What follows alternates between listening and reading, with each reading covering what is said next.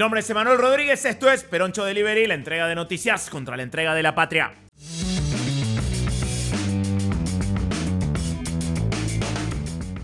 Ayer fue el día de San Cayetano, el santo que tiene todas las fichas puestas para ser tildado por Javier Milei como comunista, zurdo, socialista, peronista.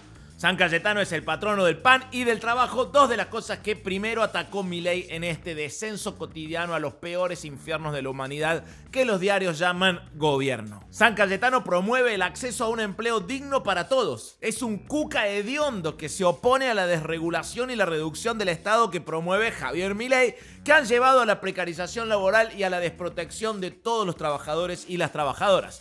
San Cayetano es defensor de los pobres y desamparados Milei es generador de pobres y desamparados. Será por eso que en el día de San Cayetano las protestas en todo el país contra las políticas criminales de Javier Milei fueron masivas. Particularmente en Buenos Aires, en Plaza de Mayo, la UTEP, la CGT, las dos CTA y la Mesa de Organismos de Derechos Humanos denunciaron al gobierno de Javier Milei por llevar a la Argentina a una crisis humanitaria. En los comandos de La Libertad Avanza, ayer se googleó mucho qué significa la palabra humanitaria. Nací en el 93, no tengo por qué saber qué significan todas las palabras que empiezan con U. La marcha de ayer fue otra evidencia de que Javier Milei prometió libertad económica y terminó creando una prisión social donde la gente está encadenada por el hambre.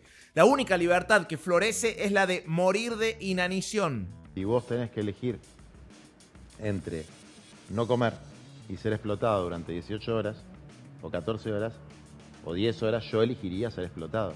Pero esa no es mi voluntad. No, bueno, ¿cómo que no? Tenés también, podés elegir si querés morirte. Yo no me quiero morir, no quiero ni la horca ni la guillotina, quiero la libertad. ¿Vos sinceramente defendés el derecho a morirse de hambre? A ver, cada uno puede hacer de su vida lo que se le dé A ver, si vos tenés la posibilidad de trabajar. No solamente lo hace trabajar lo 18 eligió, horas. ¿no? Y lo eligió para sus hijos. Se prefirió no trabajar y que sus hijos se murieran de hambre. La libertad económica de Javier Milei es tan liberadora que nos ha dado a todos los argentinos la libertad de elegir entre comer hoy o comer mañana. Las dos no se pueden. Es la doctrina del shock con el ingrediente cruel de choquear a la gente con la ausencia de comida. Naomi Klein también se quedó corta en su campaña del miedo. La economía de Milay es como una dieta de esas que te aparecen en Instagram todo el tiempo. Te promete resultados rápidos y lo único que consigue es desnutrición y mareos. ¿Estás cansado de intentar perder peso y no lograrlo? Probá votando a este enfermo que se coge a la hermana y tiene una obsesión anal incontenible, pero no es la casta. El gobierno que tiene un ministerio de desregulación no solo desregula el Estado, también desregula la necesidad de comer regularmente. En el día de San Cayetano, las centrales sindicales y los movimientos sociales se unieron para protestar contra el hambre y exigir políticas públicas y reconocimiento de derechos. Tiene lógica que haya sido en el día de San Cayetano porque hay más chances de que responda San Cayetano mismo antes que Javier Milei. No me podés venir a pedir trabajo después de votar tres veces por este idiota. El vocero presidencial Manuel Adorni, perdón si hay alguien comiendo, desestimó la protesta y les echó la culpa de la crisis a los gobiernos anteriores. Siempre es todo culpa de los 100 años de peronismo que provocaron 200 años de comunismo durante los 500 años de kirchnerismo. Manuel Adorni, ese singular espécimen de la fauna política argentina que parece ser el resultado de un experimento fallido en el laboratorio de la ultraderecha, ¿no? Como que quisieron ver qué salía del cruce sexual entre un influencer y un adoquín, fue descrito como nadie por la Inca. La vamos a citar, es una tuitera de referencia para este noticiero siempre. Arroba la Inca-bajo, búsquenla porque es lo mejor que hay. Una verruga colonizada por pelos negros y duros, instalada en un pliegue de panza sin lavar hace dos semanas, tiene mayor volumen ético y estético que Manuel Adorni. Uno de los cuatro estómagos de una vaca muerta, convertida en una piñata rellena de gusanos y cucarachas marinadas en salmonela, tiene mayor rango ético y estético que Manuel Adorni. La maraña de tierra, pelusas y pelos que se acumula en un descuidado escobillón fatigado por desplazarse sobre pisos afectados de meo de gato, tiene más estatuto ético y estético que Manuel Adorni. Insuperable. Y todo nuestro amor a la Inca. Adorni sigue culpando a las administraciones pasadas por la crisis mientras el presente se desmorona a su alrededor.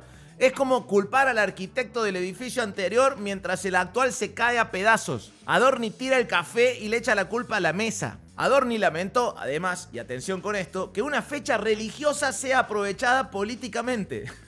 lamenta que la religión sea aprovechada políticamente. El vocero de las fuerzas del cielo, el vocero de un presidente que usa la religión para explicar que el Estado es un pedófilo, el vocero de un presidente que a falta de una profesa dos religiones. Pero bueno, no nos distraigamos con pelotudeces, o sea, con adornis. Eh, lo que hay que señalar es que la fecha religiosa trajo un milagro. La CGT se movilizó.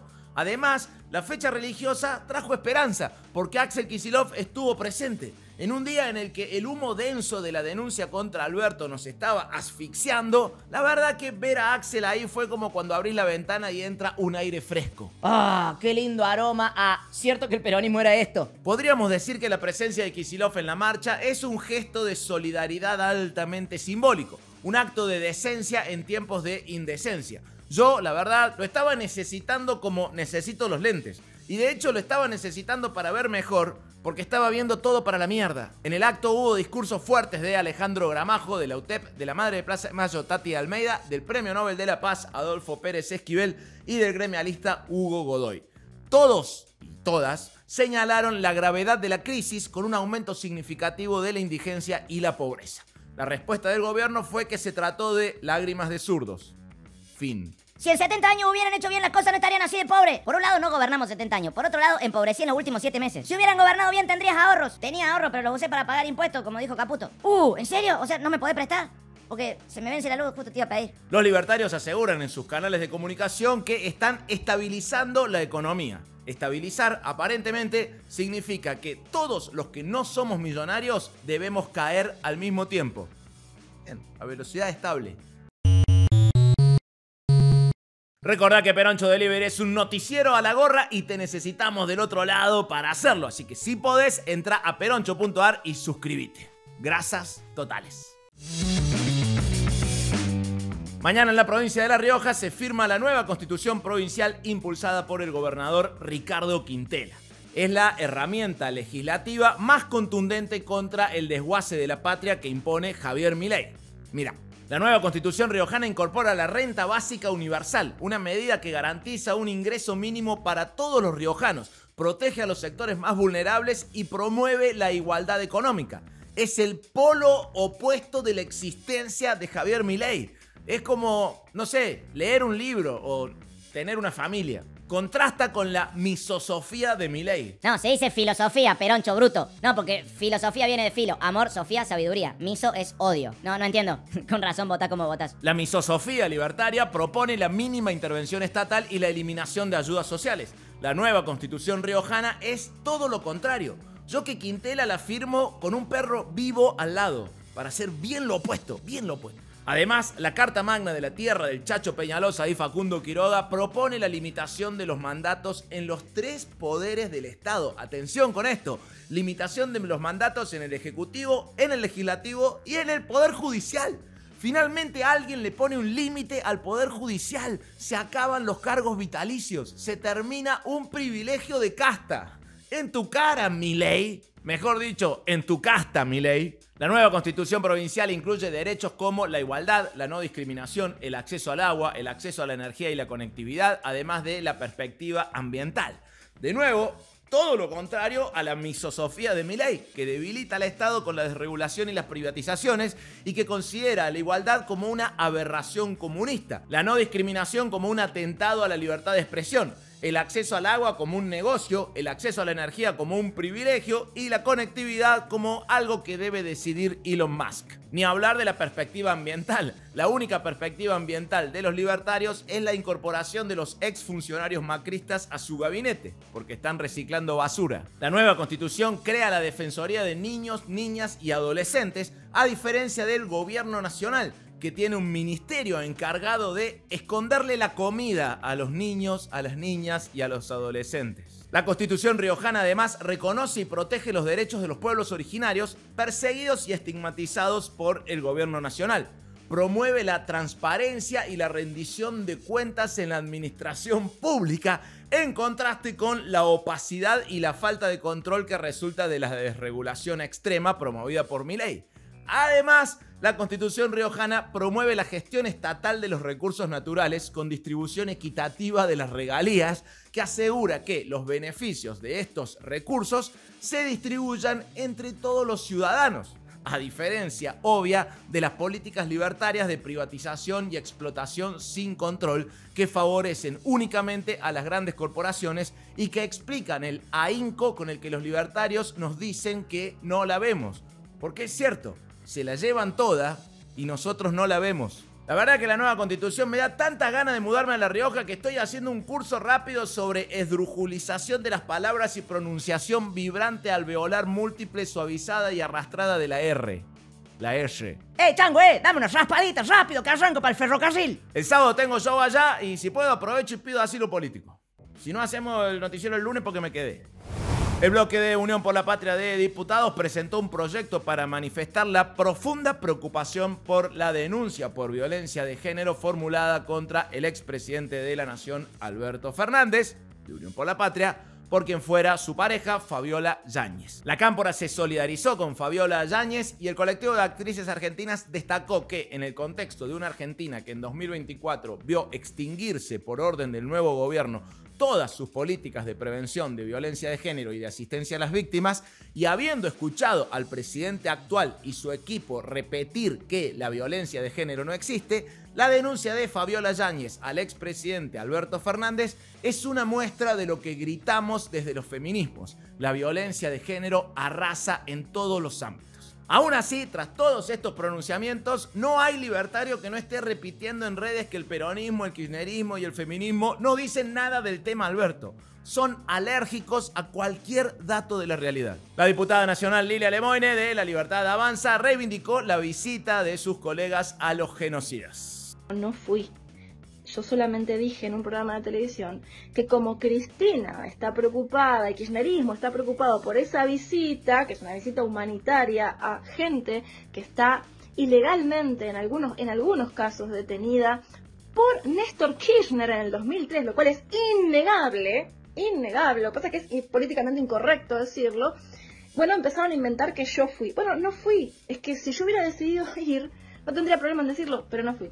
Eso ya es una mentira asquerosa que justamente es para pegarme porque saben, saben que les sirve meterme en kilo. Lilia cree que los genocidas no están presos por secuestrar, torturar, violar, matar y desaparecer gente y robarles sus pertenencias y sus bebés, sino porque un día a Néstor Kirchner se le ocurrió que tenían que estar presos, ¿no? Y además considera ilegal la detención.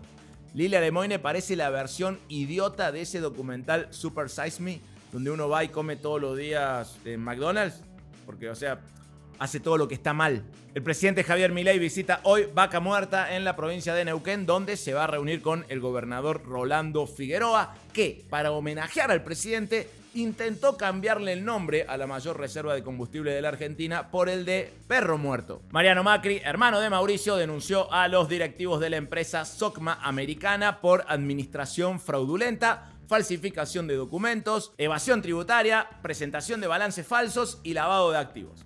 Es la biografía de Mauricio, básicamente. Bueno, es bastante lógico que los hermanos Macri se peleen entre sí, porque, como dice el Martín Fierro, los hermanos sean unidos porque esa es la ley primera, y no hay un solo Macri que alguna vez haya cumplido alguna ley. El vicepresidente de la Corte, Carlos Rosenkrantz, se excusó de intervenir en la causa por la mesa judicial del gobierno de Mauricio Macri, la causa que tiene como principal imputado y aún prófugo al ex asesor presidencial Fabián Pepín Rodríguez Simón. La verdad que está muy bien porque es muy difícil juzgar una mesa cuando vos sos la mesa. Mira este título. Allanaron a un diputado provincial de Misiones por una causa de pornografía infantil. El título no menciona el nombre ni a qué espacio pertenece el diputado se llama Germán Kixka y es macrista, lo cual no solo le ahorra a los medios la mención del partido político, también les ahorra a cientos de trolls pagos por la CIDE la exigencia de que actrices feministas se pronuncien al respecto. En Estados Unidos, Kamala Harris eligió al gobernador de Minnesota, Tim Walz, como su compañero de fórmula. Donald Trump salió a decir que esta fórmula, esta candidatura, quiere que este país se vuelva comunista de inmediato. También dijo que él, el candidato de Kamala está muy a favor de los transexuales. La verdad que extraño muchísimo los tiempos en que si escuchabas a un candidato decir semejantes burradas, dabas por sentado que iba a perder las elecciones por payaso y por ignorante. Las extraño mucho esas épocas. Las extraño más que a las mollejas. ¿Recuerdas cuando comíamos mollejas? La Organización Mundial de la Salud pide detener por varios días las hostilidades en Gaza para llevar un millón de dosis de vacunas contra la poliomielitis. El gobierno de Israel pidió unos días más antes de detener el fuego, de modo que sean necesarias menos de la mitad de las vacunas. Milagro Sala ya lleva 3.127 días privada de su libertad. En este día y cada día, libertad a Milagro Sala. Acá en Peroncho Delivery no nos olvidamos. Volvió al top 3 después de mucho tiempo. Semana complicada para hacer el top 3. Pero bueno, volvió, volvió. La consigna era la semana pasada: tenés una cita ciegas y cuando llegás, la otra persona es Lourdes Arrieta. Tus primeras palabras. Ariel Fernández se imagina en esa cita diciendo: Ya sé, vos vas a pedir picana para cenar. Villa Nostalgia, por su parte, cree que al llegar le diría a Lourdes: Buenas noches, ¿qué vas a pedir? Yo invito. Ah, no, cierto que no hay plata. Me había olvidado. No, te juro que si hubiera plata, invitaría. Por último, Joral se imagina diciéndole a Lourdes: ¡Qué bueno! Siempre quise conocer a una refugiada de Narnia. Muchísimas gracias por colaborar en la construcción colectiva del chiste. La próxima consigna es la siguiente. Señales de que el peronismo posta posta no kirchnerista esta vez sí va a tener un buen candidato que no nos va a traicionar, ni se va a dejar infiltrar, ni se va a arrodillar frente al grupo Clarín con la esperanza de que Clarín no se lo lleve puesto. Por ejemplo... Participa, escribe en los comentarios de este video usando el hashtag top3 y te acá en Peroncho Delivery, el único noticiero del mundo que informa, alegra y soberaniza. Y aparte no te quiere convencer de que si Alberto le pega a la mujer, la que tiene que pedir disculpas es Cristina. Este sábado 10 de agosto tenemos show en La Rioja, la provincia con la mejor constitución del mundo sin lugar a dudas. El 17 de agosto estaremos en el PJ de la ciudad de Buenos Aires y el 30 de agosto en la ciudad de Córdoba capital. La info y las entradas se consiguen en peroncho.ar. Antes de irnos, te pedimos que por favor si podés ayudarnos, entra a peroncho.ar o hace un aporte puntual a la gorra en el alias de CBU que figura en pantalla, cristina.vence, que es un rayo cristinizador que te transforma la jornada, de verdad. Hacelo y después contame. Bueno, y si nos querés ayudar, pero está medio complicado, nos podés dar una mano gigantesca compartiendo este video, comentándolo y estimulando el algoritmo como si fuera la actividad industrial y vos un gobierno peronista. Nosotros volvemos mañana porque mañana es mejor. Y me vas a decir, ¿cómo va a ser mejor mañana si cada día que pasa es un descenso más a los infiernos de la existencia con este gobierno? Bueno, es mejor porque tenemos memoria. Un mensaje para Ana María Cariaga y ahora y todos los oyentes de ahora y siempre. Sí.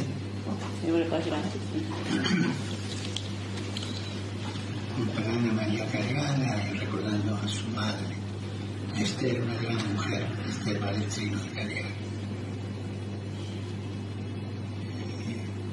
No aflojen, conserven la memoria. Conserven la memoria de, de, lo que han recibido, no solo de las ideas, sino de los testimonios. Este es un mensaje que doy en este día. Gracias.